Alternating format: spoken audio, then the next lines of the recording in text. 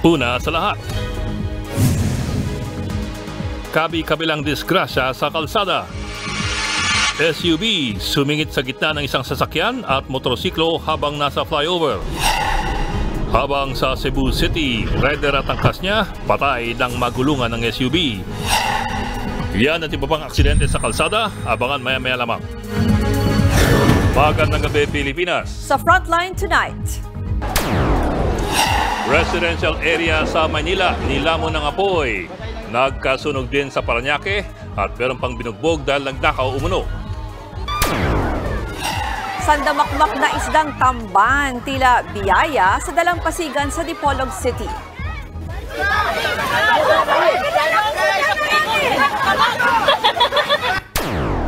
Kabaliktaran yan sa Pangasinan kung saan matumal ang huli dahil sa El Nino.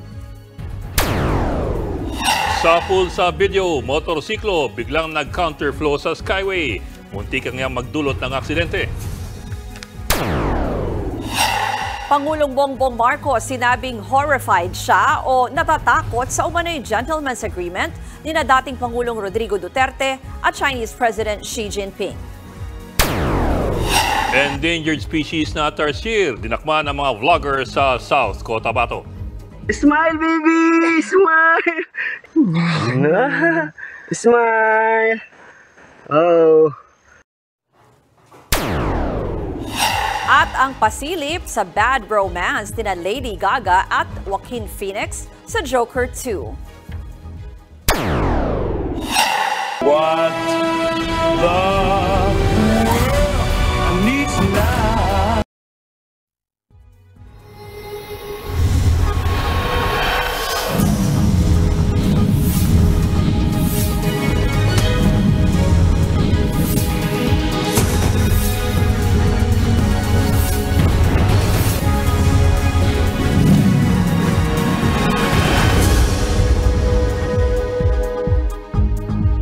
Kaliwat ka ng sunog ang sumiklab sa Maynila at Paranaque ngayong araw. Meron pang binugbog dahil inakusahang nagnakaw habang may sunog. Nasa frontline ng balitang yan si Brian Basa. Malaking sunog ang lumamon sa residential area na ito sa Isla Puting Bato sa Maynila mag-aalas 4 kaninang hapon. Nasa 22 fire truck ang kinailangang rumisponde sa laki ng apoy. Ang mga residente kanya-kanyang salba ng mga gamit dahil sa kapal ng usok. May ilang nahiwalay sa kanilang mga kaanak habang lumilikas. Kabilang si Edith na hawak-hawak ang anak. Hinahanap niya ang kanyang asawa. Pahirapan pa ang paghahanap lalo't wala siyang cellphone. Nanay, ko kasi kami ng asawa ko, sir eh.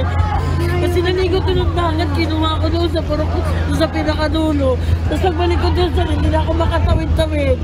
Alas 6 na ng gabi nang ideklarang fire under control. Wala pang naiuulat na sugatan o nasawi. Inaalam pa ang sanhi ng apoy, gayon din ang bilang ng mga pamilyang apektado at ang halaga ng pinsala. Sumiklab din ang apoy sa mga bahay na ito sa Barangay Dionisio sa Paranaque City bandang alauna kaninang hapon. Dahil makitid ang daan, hirap makapasok ang mga fire truck. Malaking tulong naman ang pagbabayanihan ng mga residenteng nag-bucket relay at ang fire hydrant sa barangay. Pero matapos maapula ang sunog mag-aalas 4 ng hapon, Naaktuhan ng News 5 ang pambubugbog sa binatilyong ito na dayo lang daw sa lugar. Inaakusahan siyang nagnakaw sa mga bahay pero tumanggi siyang magbigay ng pahayag. Dahil sa sunog, isang bumbero ang nakuryente. Tatlong residente ang dinala sa ospital matapos mahirapang huminga habang isa ang sugatan. Nag- nagiligpit kami ng gamit. Eh, hindi po namin alam na may basag na bote doon. Aabot sa 20 bahay ang nasunog at 36 na pamilya ang apektado. Iniimbestigahan pa ang mitya ng apoy na sinasabing nagsimula raw sa isang bahay sa Guevara Street. Nagbabalita mula sa Frontline, Brian Basa, News 5. Biyaya sa ilang residente sa Dipolog City ang napakaraming tamban sa Dalampasigan. Kabaliktaran naman yan ang matumal na huli ng isda sa Pangasinan. Nasa frontline balitang yan si Jenny Don. Sandamakmak na isdang tamban ang napadpad sa dalampasigang yan sa Dipolog City sa Zamboanga del Norte. Hindi magkamayaw ang mga residente. kanya-kanya silang bitbit ng palangganang lagayan ng mga isdang tamban. Ayon sa Bureau of Fisheries and Aquatic Resources o BIFAR, karaniwan ang ganyang eksena lalo tamban season ngayon. Posible raw na maraming pagkain sa baybayin kaya't napadpad doon ang mga isda. O hindi naman kaya dahil sa init, mas presko roon kaysa iba pang bahagi ng dagat. Kung sa Dipolog City, umuulan ng biyaya. Dito naman sa Dagupan City sa Pangasinan, matumal ang huli ng isda. Lumalangoy sila sa malalim na bahagi ng dagat. Kaya naman problemado ang mga mangingisda. Kung dati, 10 hanggang 15 kilo ang nahuhuli nila, ngayon, kalahating kilo na lang kahit apat na oras na silang nasa laot. Tigil muna sa pangingisda si Mang Jovito. bagsak ang punan. Hindi mabawi yung pagod, gasolina, kulang pa. Limang sunod-sunod na araw nang nasa danger level ang heat index o init na dama ng katawan sa lungsod. Ayon sa pag-asa Dagupan, posible pang mas tumindi ang init doon sa mga susunod na araw. nagtuloy-tuloy yung weather system natin na yung easterly wind flow. Yun pa rin na saan natin natataas yung temperatura natin. Usually, ang pinaka-peak natin pag ah, regarding heat index, uh, nakakuha natin sa Abril na pumapalo to kung minsan 50. Sa kabila ng matinding init, hiling ng mga may-ari ng palaisdaan sa Dagupan, huwag naman sanang biglang uulan dahil makakaapekto rin ito sa mga alagang isda. Yung mga bangos ang mapiktuan. Yung biglang umulan sa mainit. Kaka yung tangkong ma'am, sinasabi nila, mamatay sila. Bakit? Doon sa kuan, kulang sa oxygen ng tubig. Para namang sardinas na nagsisiksika ng mga preso sa Muntinlupa City Jail. Halos magkapalit na ng muka ang mga bilanggo dahil sa kulungang pang-apat na put isa lang dapat. Mahigit siyam na raan silang nasa loob. Dahil dyan, nagkakahawaan na sila ng mga sakit. Nitong unang linggo lang ng Abril, nasa 80 na ang nahawaan ng scabies o galis aso. Meron ding may na high blood at may mga tinubuan din ng jail rush o rumbo-rumbo pati pigsa. Meron po tayong kahit paano uh, isolation area para sa kanila to avoid or prevent yung pag-spread pa ng mga diseases. Sa ngayon, tiis-tiis muna ang mga preso hanggat hindi pa natatapos ang ginagawang karagdagang pasilidad kung saan sila ililipat. Nagbabalita mula sa frontline. Jenny Dongon, News 5. Sa tindi ng init, gumagawa na ng paraan ng Administrasyong Marcos para maibalik ang dating school calendar sa bansa. Ayon kay Pangulong Bongbong Marcos, hamon ang climate change kaya makabubuting ibalik sa Hunyo ang pasukan. Nakakaapekto rin kasi sa pag-aaral ng mga bata ang matinding init. Kung matutuloy yan, magiging Abril at Mayo ang school break. Susubukan namin gawin sa aming palagay, baka mahirapan pa tayo. Ngunit eh, hanggat eh, may paraan, eh, gagawin natin ang paraan para ma- mapa- mapaaga at mapabilis ang pagbalik sa, sa normal na schedule ng mga bata. Ayon naman sa DepEd, dalawang school year ang tatamaan ng adjustment bago maibalik sa dati ang school year. Kailangan din daw kasi na magpahinga ng mga guro at estudyante. Nakikipag-ugnayan na ang ahensya sa Pangulo. Makakatulong daw sa pagtatanggol ng bansa ang pagbabalik ng mandatory ROTC ayon sa ilang senador. Pero ayon naman sa isang kongresista, huwag naman daw sanang gamitin ng issue sa West Philippine Sea para isulong ang panukala. Nasa frontline ng balitang yan si Camille Samonte. Mainit ang usapin kung ibabalik ang Mandatory Reserve Officers Training Corps o ROTC sa kolehiyo. Pero sa inilabas na Pulse Asia Survey, 69% ng mga Pilipino ang pabor na ibalik ang mandatory ROTC. 17% ang hindi pabor, habang 14% ang undecided. Si Senate President Mig Zubiri ang nagkomisyon ng survey na ginawa noong Disyembre. Nauna nang kinumpirma ni Zubiri na isa sa priority bills nila ang panukalang pagbabalik ng mandatory ROTC. Si Senator Bato de la Rosa na siyang miakda ng panukala sa Senado, kumpiyansang lulusot ito bago ang ikatlong State of the Nation address ni Pangulong Bongbong Marcos sa Hunyo. Kung magkabutuhan, sure ako na mananalo. Pero yun nga lang, hindi overwhelming. Slim margin. Majority lang, pero ang margin very, very slim. Higit lalong kailangan nito ngayong may tensyon sa West Philippine Sea. With or without that uh, Philippine, West Philippine Sea issue, kailangan, kailangan, kailangan talaga natin yan.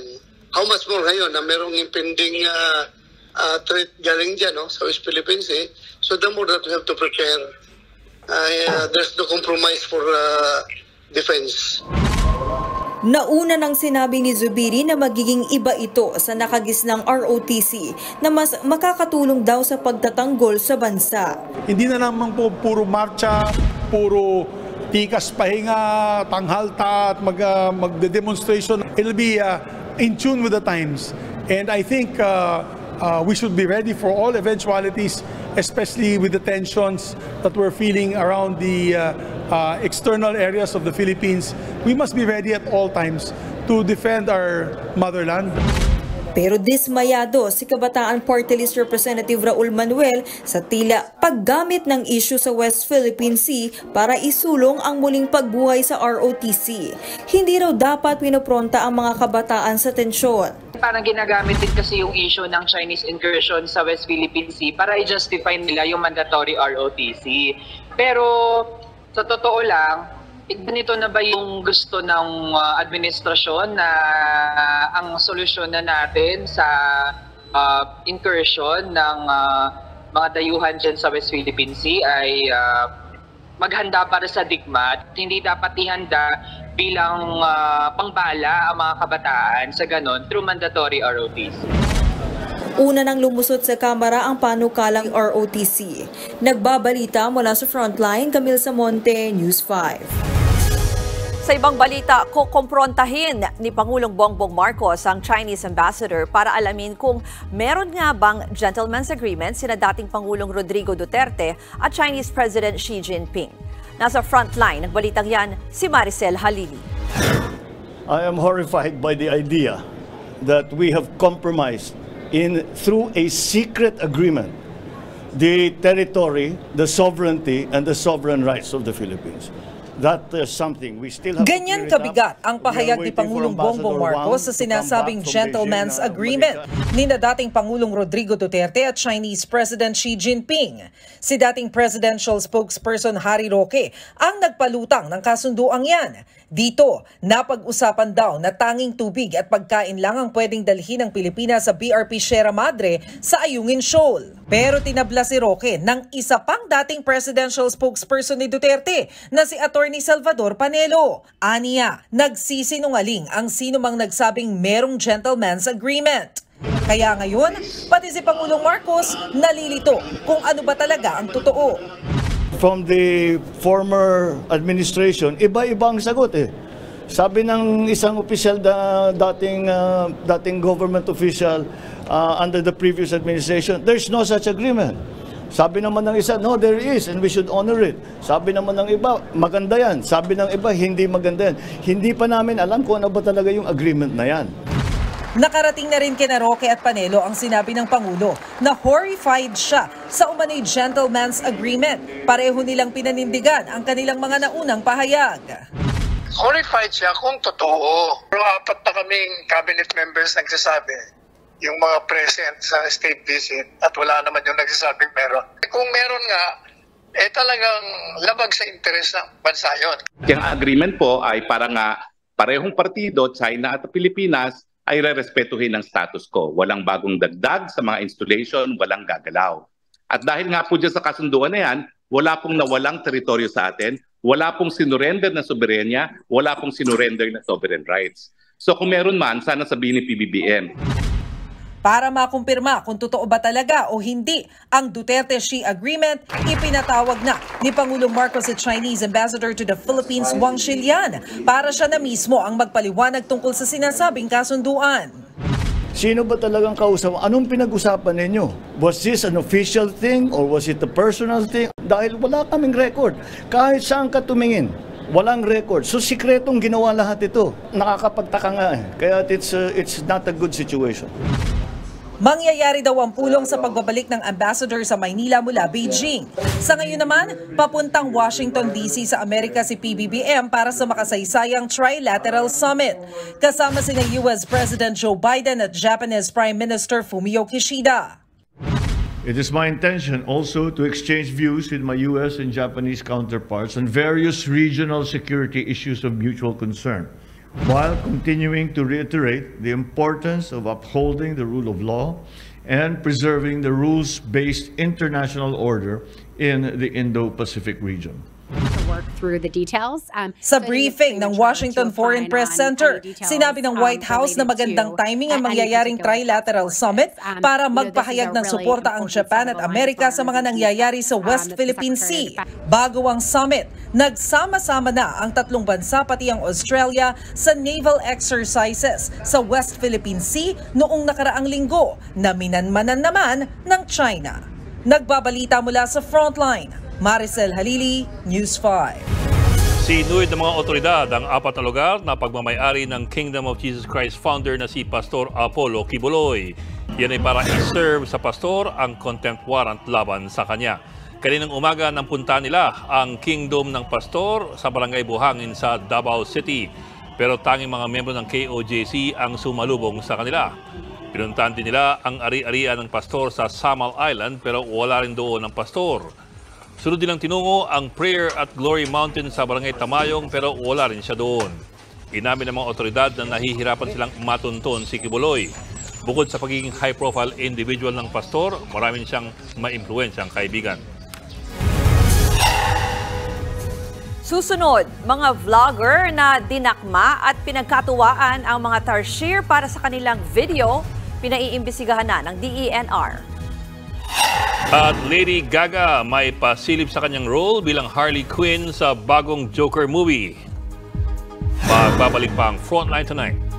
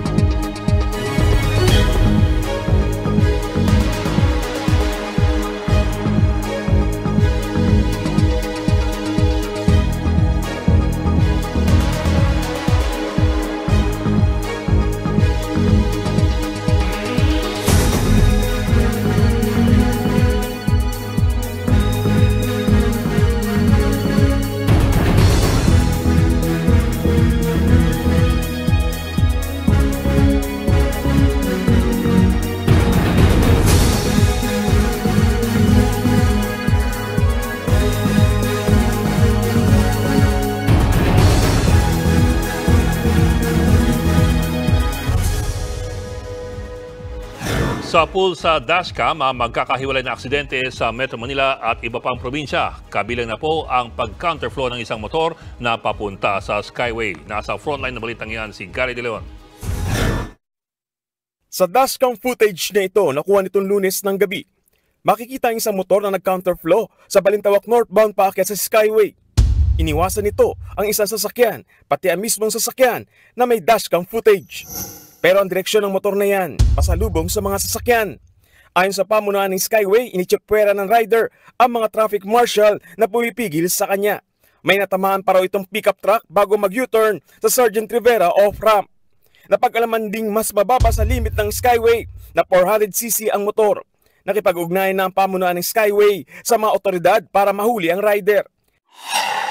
Sa isa pang dashcam footage na ito nakuha ng biyernes ng umaga, makikita ang SUV na ito na sumingit sa pagitan ng isa pang SUV at motor sa bahagi ng Buendia flyover sa Pasay. Tumama ang SUV sa gilid ng isa pang SUV at binangga nito ang motor. Sumemplang ang rider. Habang sa Cebu City naman, sa pulsa dashcam ang motor na ito na napunta sa kabilang linya sa Cebu South Road Properties kaninang umaga. Tumama ang motor sa Center Island sa atumilapan ng rider at ang angkas nito. Nagulungan sila ng SUV na nasa kabilang lane. Naisugod sa ospital mga biktima pero namatay rin. Naaresto naman ang SUV driver.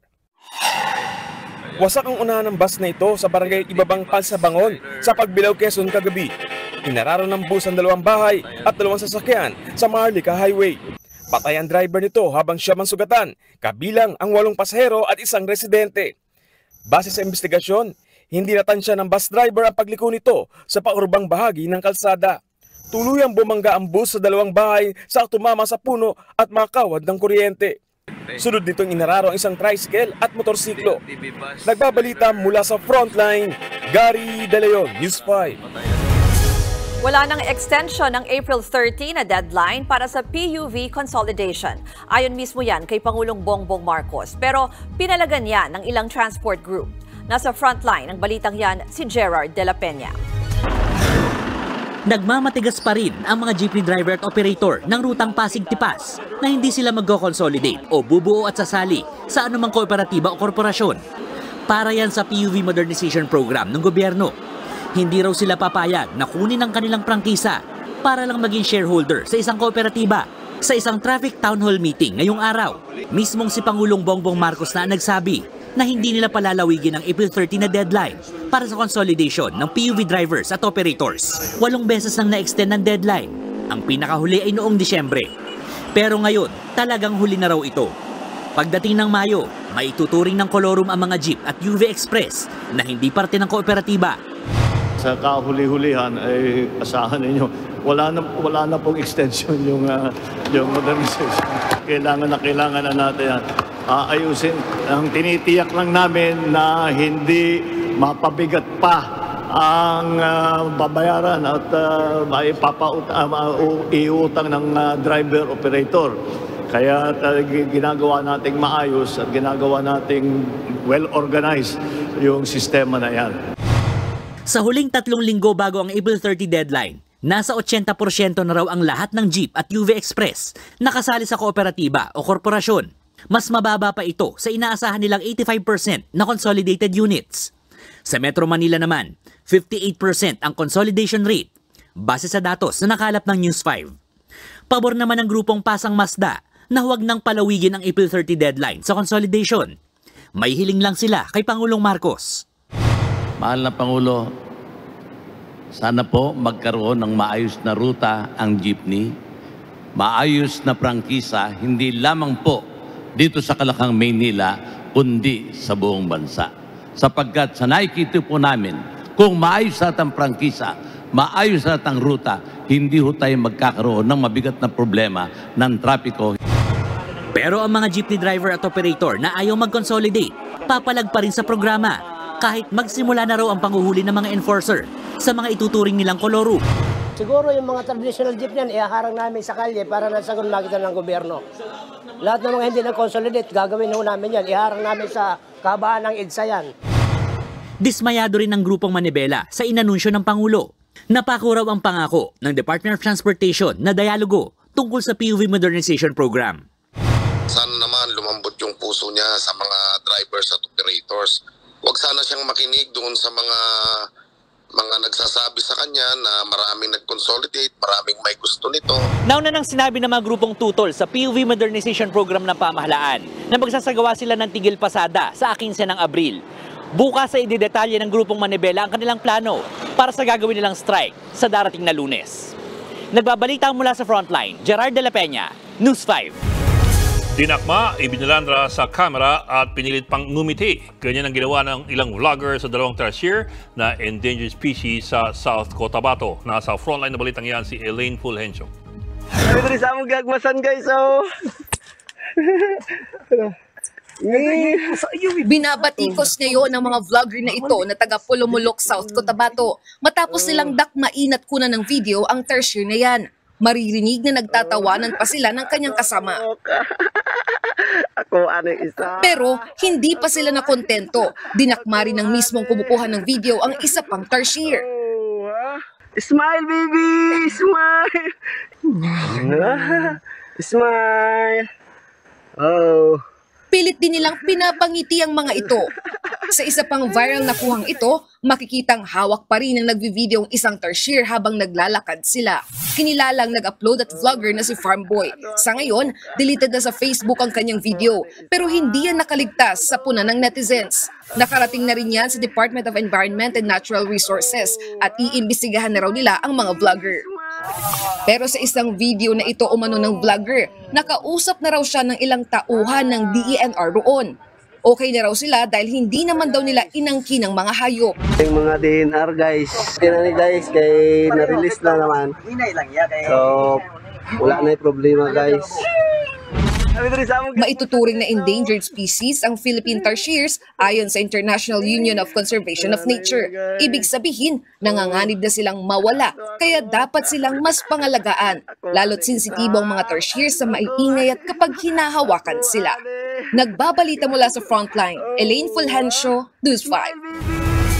Sa ibang balita, binutas ang ilang nicho sa isang sementeryo sa Coronadal City.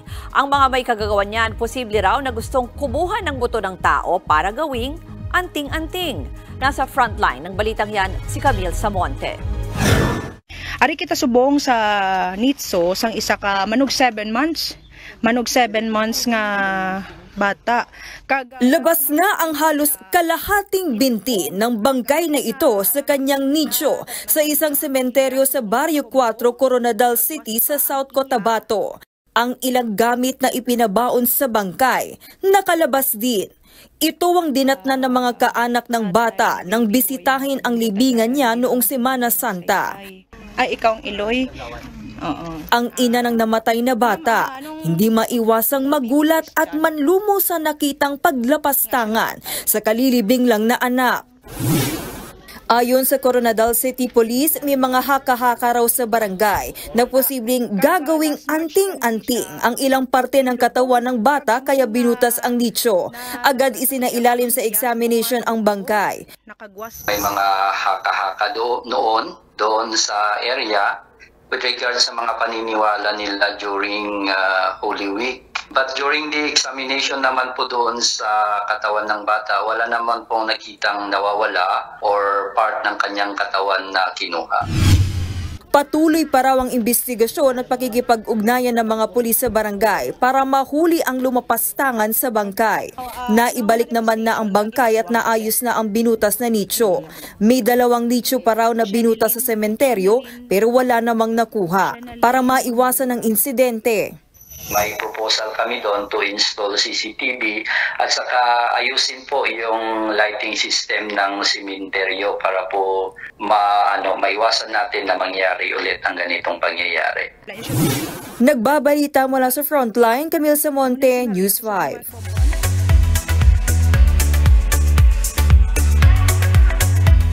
Showbiz Tonight na tayo. Hindi muna matutuloy ang reimagined concert ni Janela Salvador. Magsasama naman ang ilang OG 90s dance group gaya ng Street Boys at UMD sa isang super show. Nasa frontline ng balitang yan si Laila Pangilinan.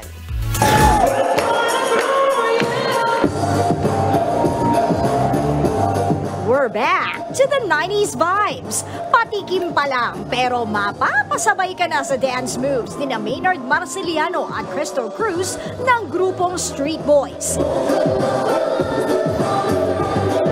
Para yan sa kanilang all-out katawan sa The Science 90 Super Show sa April 19 sa Aliw Theater. Si Street Boys member Spencer Reyes uuwi pa mismo sa Pilipinas mula sa UK para sa show.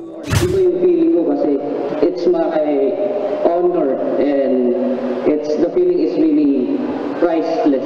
Kasi this is the first time again who will step on stage na kasama ko sa grupo ko. Bukod sa Street Boys, kasama rin nila dito ang iba pang 90s dance group sa bansa gaya ng Universal Motion Dancers, The Maneuvers at marami pang iba. Sobrang saya po namin in a way na kahit na po sinabing may rivalry that time with the UMB or, or the Street Boys, iisa lang po kasi yung recording company namin. Ng concert na makatulong sa mga nangangarap na maging dancer na walang budget para masuportahan ang kanilang passion. Would never ask me why my heart is so. Video kay baka mo? Gawin natin yung concert! Yan ang tema ng upcoming show ni Ice Sigera na Video Kay Hits Concert this May 10 and 11 sa The Music Museum.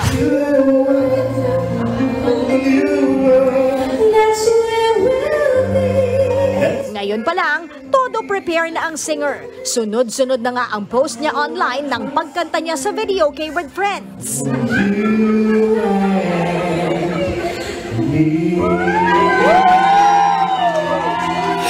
Kanselado naman ang 10th year anniversary concert ni Janela Salvador na reimagined sa April 19. Ayon sa Star Music PH, dahil yan sa hindi inaasahang pangyayari. Sa ngayon, itago raw muna ang mga nabiling ticket para sa rescheduled date. Pwede rin daw itong ma-refund. Tila dinog show naman yan ni Janela. Sa kanyang post sa X, pabiro niyang sinabing pao siya, kaya kayo na lang daw ang mag-concert. Pero nagsorry pa rin naman ang aktres sa naudlot niyang concert.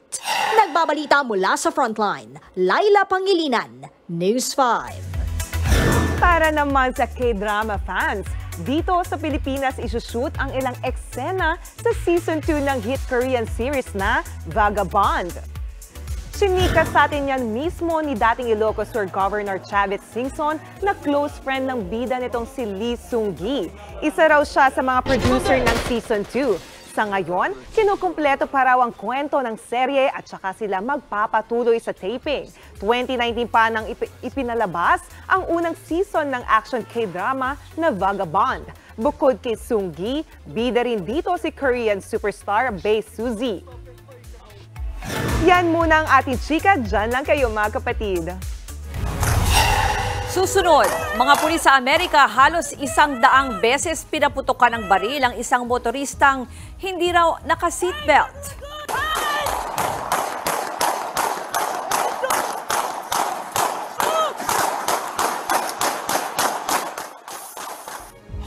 Kabayo na ispatang tila nag-aabang ng tren sa Australia.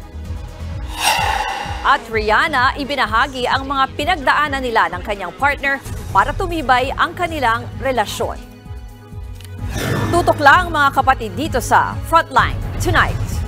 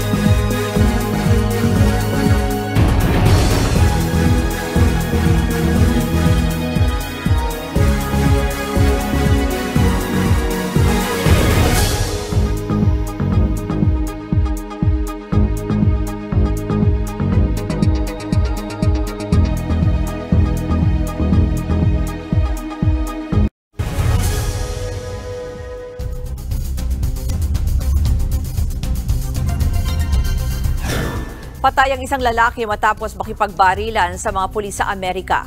Halos isang daang beses siyang pinaulanan ng bala bago napatumba. Narito ang frontline report. Sa bodycam footage na ito sa Chicago sa Amerika, makikitang nilapitan ng pulis ang lalaking driver ng SUV. Inutusan ng pulis ang driver na ibaba ang bintana. Sumunod naman ang driver, pero inangat niya ulit ang bintana. Hey, don't roll the window up. Um, don't roll the window up. Okay, okay. Do not roll the window up. Nang hindi sumunod ang driver sa inutos ng pulis, naglabas na ito ng baril. Pinalabas ng pulis ang driver hanggang sa Open the door now! Open the door now! umalingaw-ngaw ang mga putok ng baril. Nagtakbuhan ng mga pulis at naghanap ng pagtataguan. Gumanti ng putok ang mga pulis na nakapalibot sa SUV. Sa kalagitnaan ng putukan, lumabas ng sasakyan ang driver. Bumagsak siya sa kalsada matapos pagbabarilin. Dahan-dahang lumapit sa kanya ang mga pulis. Nang mapansin na hindi na gumagalaw ang lalaki, pinosasan siya. Sugatan sa kamay ang isang pulis matapos tamaan ng bala. Wala pang isang minuto, halos isandaang beses nagpaputok ng baril ang mga pulis bago tuluyang natumba ang driver. Base sa investigasyon, pinatigil ang lalaki dahil sa hindi pagsusot ng seatbelt habang nagmamaneho. Dito na namaril ang driver Natagpuan sa passenger seat ang barilang suspect. Patuloy naman ang investigasyon sa pangyayari. Nagbabalita mula sa frontline, Gerard de la Peña, News 5. Sa pool sa video ang paglusod ng mga agents sa Mexican o Mexican Embassy sa Ecuador. Ang dahilan niyan alamin sa report na ito. Makikita sa CCTV footage na ito ang pagpasok ng Ecuadorian agent noong biyernes sa Mexico Embassy sa Quito, Ecuador. Sa isa pang kuha ng CCTV, tinutukan ng flashlight ng pumasok na security agent ang personal ng embassy na si Roberto Canseco. Lumapit ang agent kay Canseco habang nagsasalita sa kanyang radyo. Tinulak ng agent si Canseco saka itinulak ang cabinet na nakaharang sa pinto. Doon na nagsipasukan ng mga kasamahan niyang agents. Sa kanang pinto makikitang may buhat-buhat na lalaki ang ilang agents. Ang lalaking yan, dating Vice President ng Ecuador na si George Glass. Sinubukan pang pigilan ni Canseco ang pagkuha kay Glass pero pinigilan siya ng dalawang agent tsaka siya ibinagsak sa sahig. Sa pool din sa video ang pagkaladkad kay Canseco palabas ng embassy. Kinundi na ni Mexican President Andres Manuel Lopez Obrador ang paglapastangan sa kanilang embahada. Kinundi na rin ng mga bansang miyembro ng Organization of American States o OAS at ng White House ang nangyari. Hinimok nilang Ecuador at Mexico na daanin sa mapayapang solusyon ang hindi pagkakaunawaan. Ang pagsalakay ng mga security agent ng Ecuador ay dahil sa umunoy alok ng Mexican Embassy ng formal asylum protection para sa dating Vice Presidente ng Ecuador na si George Glass. Bagay na pinalagan ng Ecuador dahil labag umano sa batas ang pagbibigay ng asylum kay Glass na dalawang beses nang nahatulan para sa kasong graft. Nagbabalita mula sa frontline, Elaine Fulgencio, News 5. Nais patang pagala-gala ang isang kabayo sa istasyon ng tren sa Australia. Sa kuha ng CCTV, makikita ang pagdaan ng kabayo sa platform ng istasyon. Nagulat tuloy at napaatras ang mga pasahero. Ilang saglit na gumala ang kabayo hanggang sa lumabas ito sa train station. Maya-maya, dumating ang may-ari ng kabayo at iniuwi na ang kanyang alaga. Abangan ang nakakahangang volleyball player na putol ang isang binti at braso.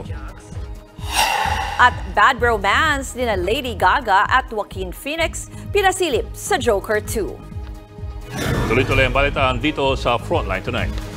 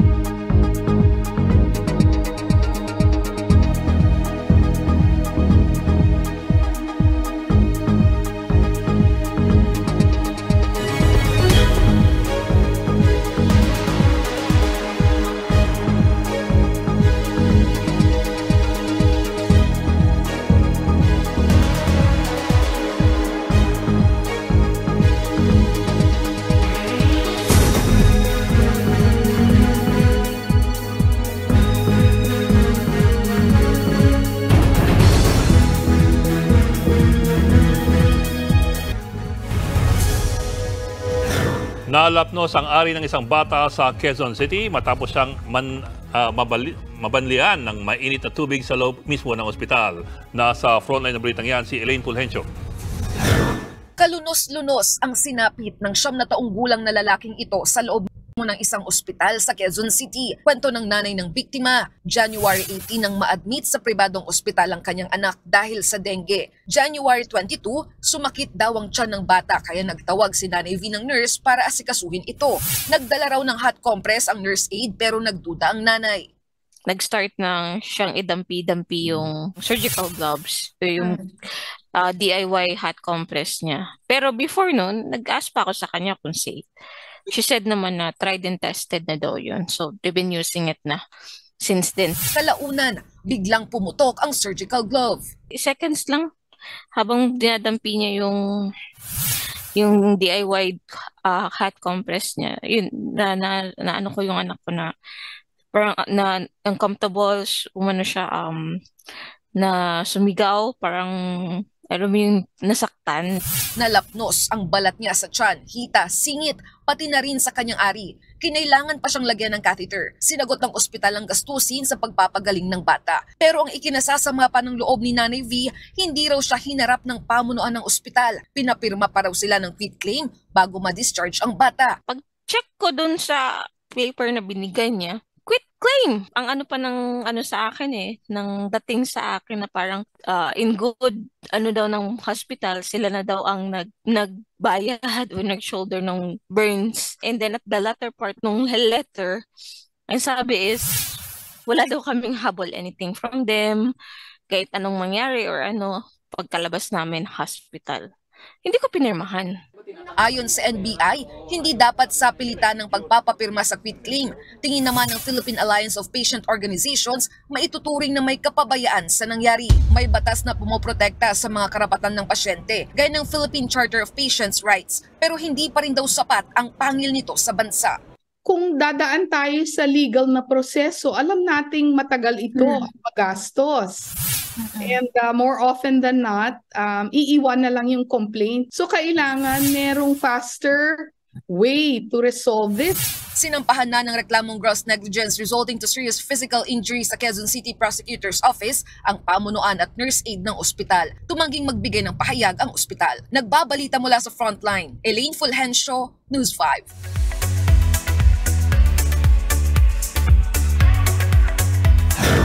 Dahil sa pandemic, kaya nagsettle ang singer na si Rihanna sa partner niyang si A$AP Rocky. Yan ang revelation ni Rihanna sa isang panayam ng magazine. Magkaibigan lang naman daw sila nang mag-collab sila noong 2011 pero mas naging malapit pa sila dahil sa kanilang pagkakapareho, gaya ng hilig nila sa fashion at arts. Kaya full support din sila sa isa't isa. 2019, nang simulang mag-date sina Rihanna at Rocky. Dumaan din daw sila sa matinding pagsubok. Pero pagdating ng COVID-19 pandemic, mas napadali raw at tumamis pa ang kanilang relasyon. Dito na raw na-realize ni Rihanna na gusto niya nang mag-settle kay Rocky. Say pa ng singer, malaking tulong din na nakilala pa nila lalo ang kanilang kahinaan at kayang gawin sa kanilang relasyon. May dalawa ng anak si Rihanna at Rocky. Exciting ang bad romance sa unang pasilip ng American thriller film na Joker 2. I haven't done anything with my life like you have. What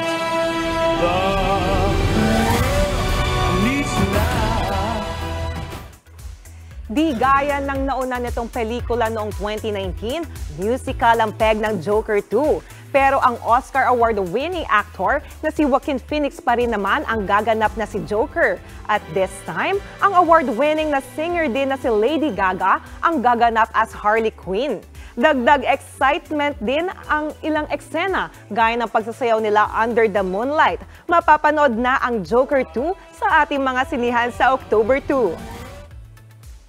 At yan ang latest and hottest sa showbiz tonight. Ako si Jania Lipon. Happy Wednesday mga kapatid.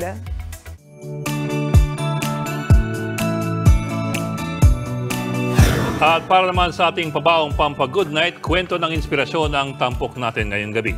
Isang volleyball player ang patunay na hindi hadlang ang kapansanan sa pagiging mahusay na atleta. Yan po si Edwin Engito, 19 years old. Viral ang paglalaro niya ng volleyball kahit putol ang kanyang binti at braso. Ayon kay Edwin, inborn ang kanyang disability. Naimpluwensyahan siya ng kanyang pamilya na puro mga volleyball player. Sa determinasyon, varsity player at miyembro ng national team si Edwin. Hindi raw hadlang ang kanyang kakulangan para maging malakas. Varsity pa. Diba? Galing, no? Okay. At yan po ang 45 minuto pag-imay sa malagang headlines. Balitan at diskusyon para sa paghubog ng matalinong opinyon. Kami yung kasangga sa pagbabalita. Sa ngalan ni Mean Dos Baños, ako po si Ruz Cabal. Ako lang po si Adlingao. Magandang gabi.